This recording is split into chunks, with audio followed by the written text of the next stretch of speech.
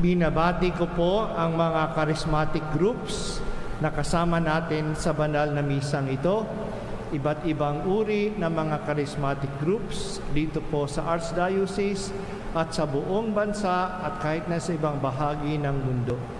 Yung mga office-based, yung mga parish-based, saka yung mga uh, trans-parochial groups.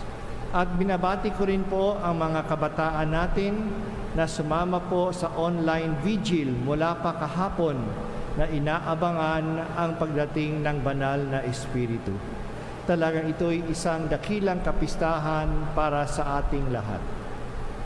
Last Sunday, Ascension Sunday, pinagkatiwala ni Jesus sa kanyang mga alagad ang kanyang misyon bago siya umakyat sa langit pero bago sila lumabas sa buong mundo upang dalhin ang mabuting balita, sinabihan muna sila na mag-antay sa Jerusalem upang tanggapin ang ipadadala niya sa kanila.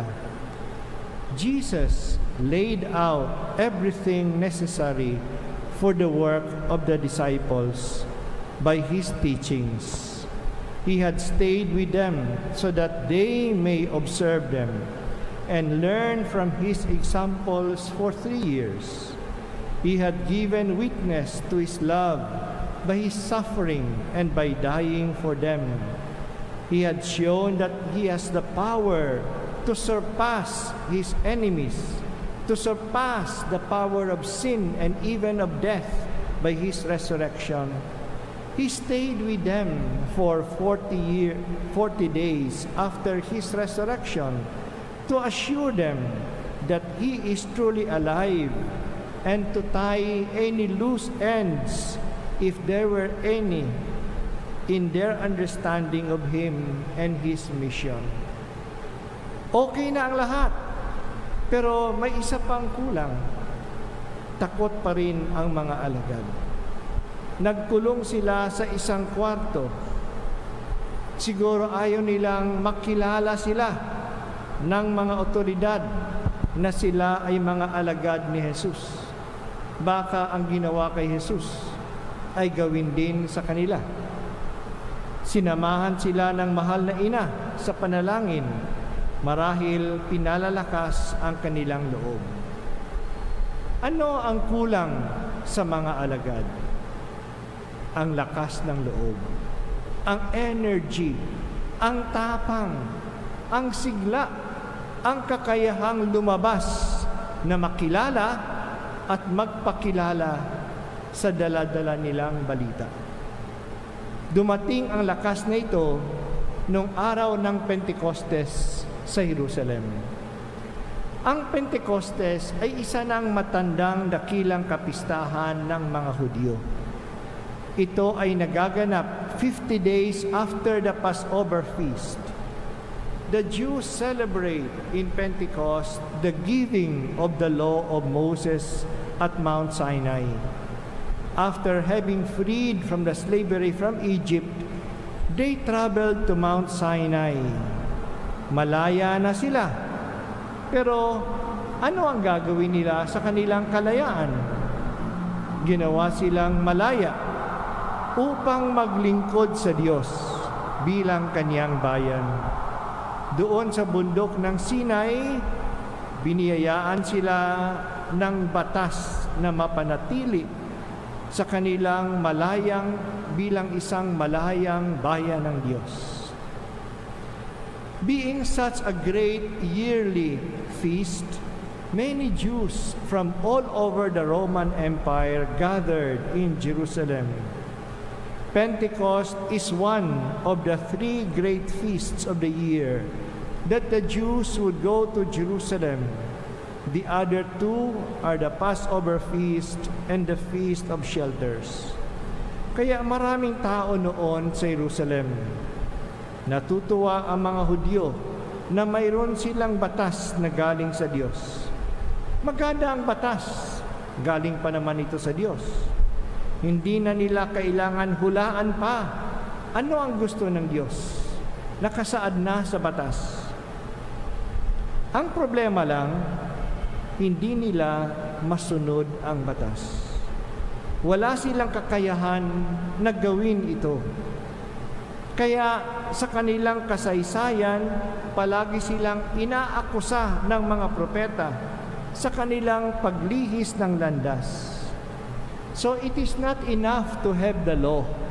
It is not enough to know the law. We need to follow the law.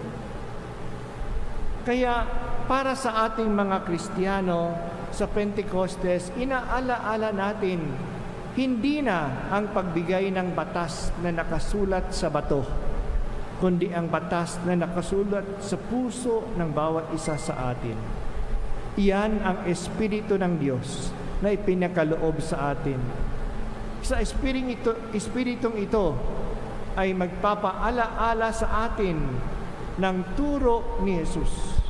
Ang Espiritong ito ay nagdadala sa atin sa buong katotohanan. Ang Espiritong ito ay magbibigay sa atin ng kakayahan na gawin ang kalooban ng Diyos. So it is now within our power to fulfill the law and to follow Jesus. Ang Pentecostes ay ang kapistahan ng Espiritu Santo. Hindi na siya hindi na siya na, nating masyadong nabibigyan ng diin at pansin ang Espiritu Santo dahil sa ito ay espiritu. Kaya mahirap maintindihan, mahirap mai-imagine ang espiritu.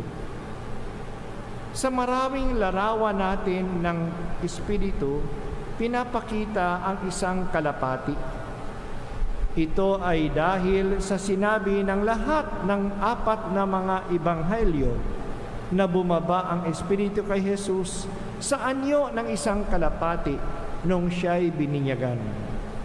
Pero may mga images pa ng Holy Spirit sa banal na kasulatan na makabuluhan.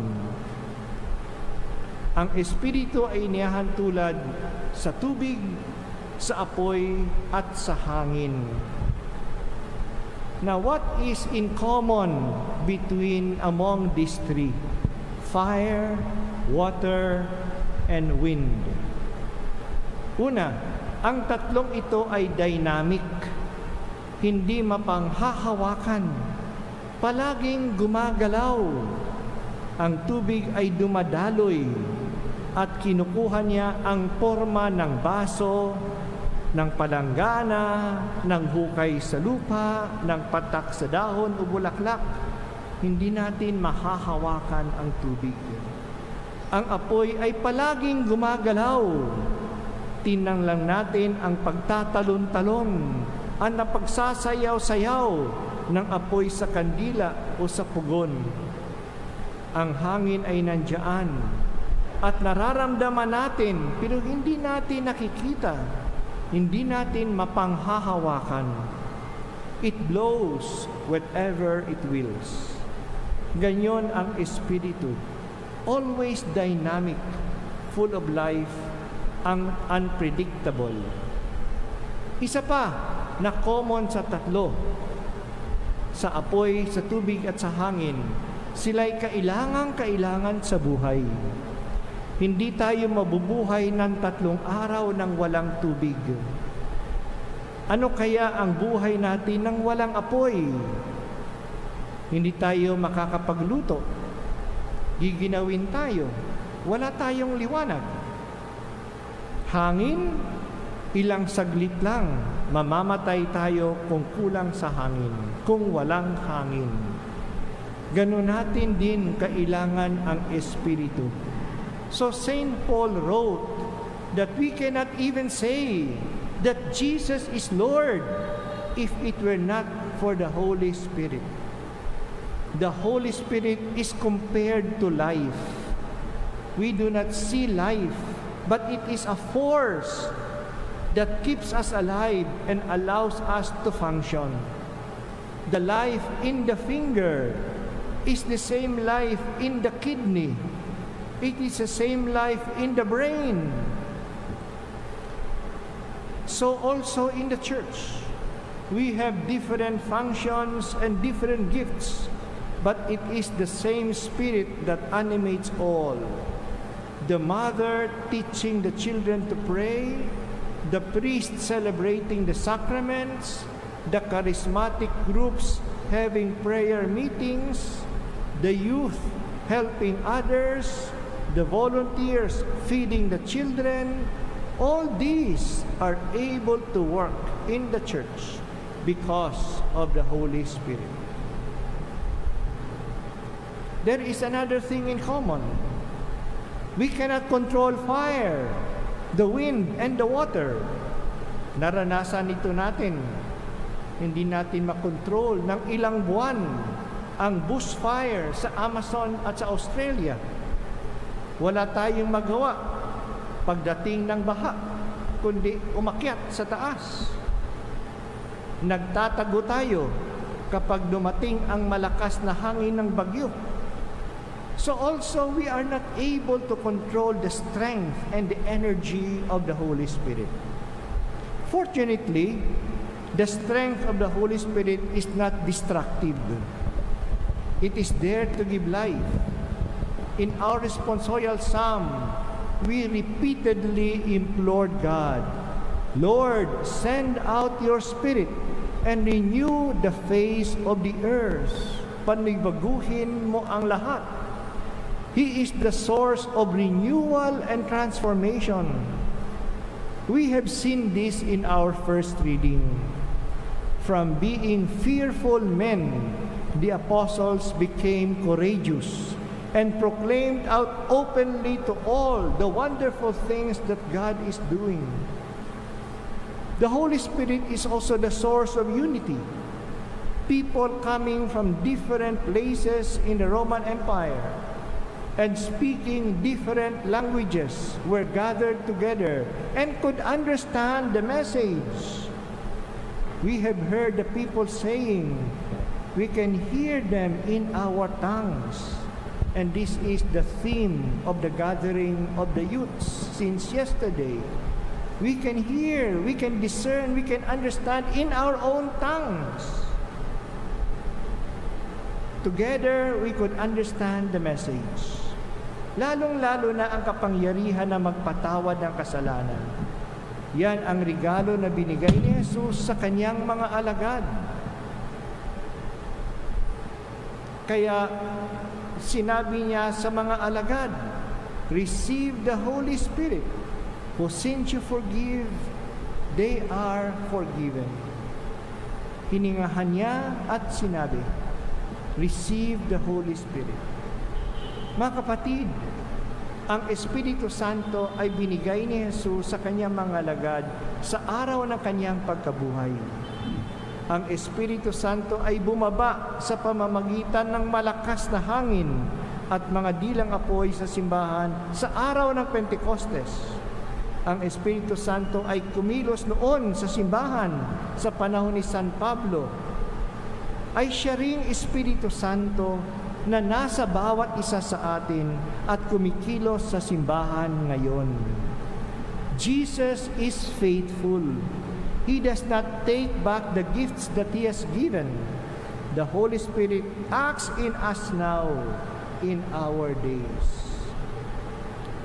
And uh, we understand Him, although we have different tongues.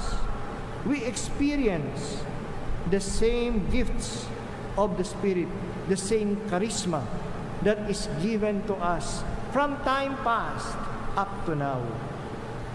The great proof that the Spirit acts in us is the flowering of holiness that we find in the church. In spite of the scandals in the church and the sins of the people in the church that are being magnified by the social media, still there are numerous people who are striving to be good. People who want to know God, people who serve others selflessly, who stand up for the truth. We even experienced just a few days ago many people following the online retreat. All of these are manifestations of the desire for holiness and the efforts to be holy in our times. This is the work of the Spirit. In our recent history, we also see the flowering of charismatic movements in the church, among evangelicals, among Protestants, among Catholics. This is a powerful force in the world, now coming from the Holy Spirit. In the church, many non practicing Catholics have been renewed in their commitment to the faith by means of the charismatic movements, and they continue to reach out to others. There are many religious congregations now that came from the charismatic movements. And in fact, it is so dynamic that people have predicted that in a hundred years' time, the Catholics would be characterized as poor, black, and Pentecostal. Kasi nasa kanila po ang madalas na lumapit sa simbahan at kumilos at maging active. Ang mga may hirap, ang mga black sa Africa, no, at ang mga Pentecostals. Kaya talagang kapag kumilos ang Espiritu, matatangay tayo. At nararamdaman din natin yan sa mga kabataan. Akala natin ang mga kabataan ay hindi nagpapahalaga sa Diyos. Ngunit napakaraming mga naghahanap din at kumikilos. Yan po yung espiritu na nagpapakilos sa kanila. Ang kapistahan ng Pentecost ay nagpapaalaala sa atin na buhay ang Diyos sa piling natin. Nasa atin ang kanyang energy Nasa atin ang kanyang kapangyarihan, ang kanyang force.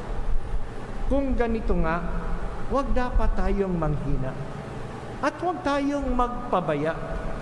Let us be hopeful and vibrant. God's Spirit is renewing the face of the earth in a way that we can hardly imagine.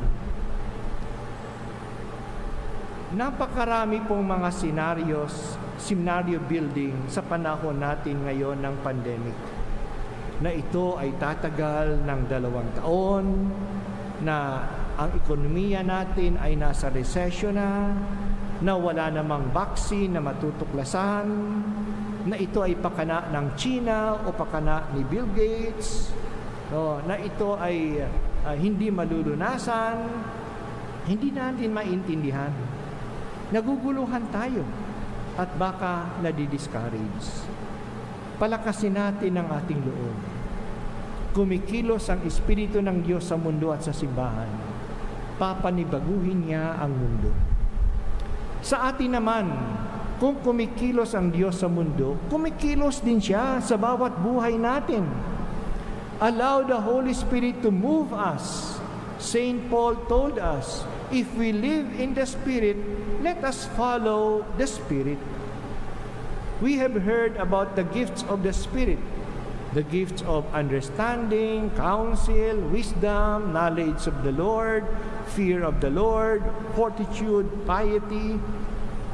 Masagana ang mga binibigay ng Diyos sa atin sa binyag at sa kumpil. And these gifts are not exhaustive. They are representative. Marami pang ibang gifts. Let these gifts flow in our lives. Huwag nating hadlangan at ito'y mamumunga. Let the fruit of the Spirit in us blossom, which is love, joy, peace, patience, kindness, generosity, faithfulness, gentleness, self-control. Let me repeat, and you repeat after me love, peace, joy, patience, kindness, generosity, faithfulness, gentleness, self-control. Hindi ba maganda? Yan dapat ang buhay natin. Mahirap kaya? Huwag tayong umasa sa ating kakayahan lang.